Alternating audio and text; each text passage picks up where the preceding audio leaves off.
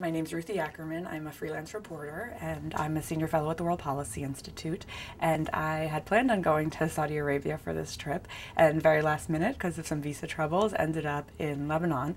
So I hadn't done a lot of, um, I didn't have time to do a lot of research beforehand, but ended up kind of being thrown into this country with an overwhelming amount of stories, which was a really good thing. So not quite what I expected, but at the same time was able to make the best of it. So I had gone to, to Lebanon to look at how young people are using the internet to push for social and political change.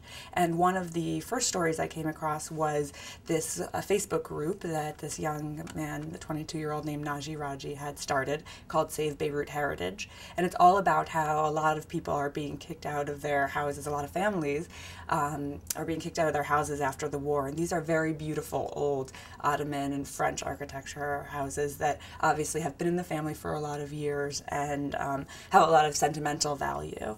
One of the major um, the major criticisms is that the city center itself, which is where a lot of the old buildings are, which was destroyed by the war, is being rebuilt with a lot of these. Um, um, not thinking about the heritage of the city and of the people. And so that's what a lot of people are upset about is the city center itself and then some of the surrounding areas which are also harder hit in Beirut families are realizing that they can make a lot of money off of these buildings if they, they sell them to developers. So even some families that own the beautiful buildings are themselves damaging them so they could be taken off the protected list that um, the Minister of Culture made this protected list. And so the families themselves are tearing down the buildings. They could be taken off the protected list and so they can sell them to developers. And so even sometimes within one family, you know, one person wants to save the building because it's their, in, you know, their great grandfathers and so another person in the family wants to tear it down.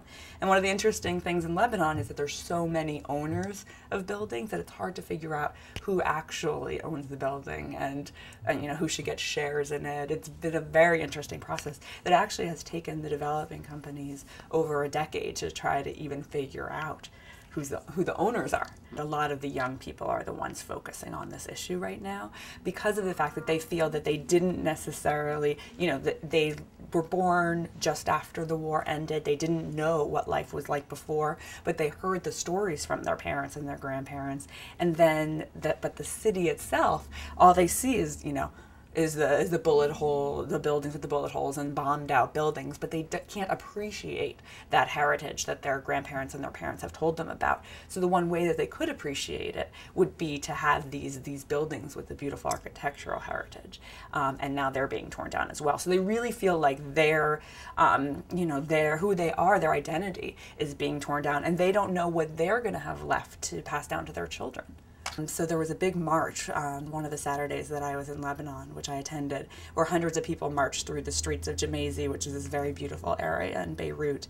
And so I attended that march, and from there um, began interviewing people that owned some of these beautiful mansions. I interviewed um, the one of the urban developers that works for Solidere, the big company that is actually doing a lot of the tearing down of the old buildings and rebuilding these big, massive towers. And so I was able to get um, like interviews with all sides of the story and really form this um, what I thought was a more nuanced look at um, at this big issue. From the first day I arrived, people were telling me there's going to be another war every day. They said tomorrow another war, tomorrow another war, and everybody's waiting for there to be another war.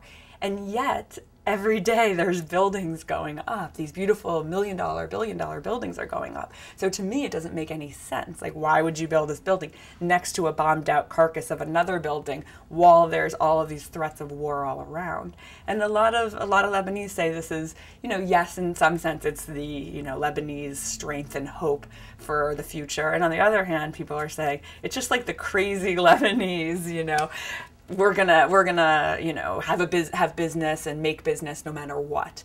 And so I, it's kind of interesting to to to hear all the theories around around why why the city is continuing to be rebuilt and regenerated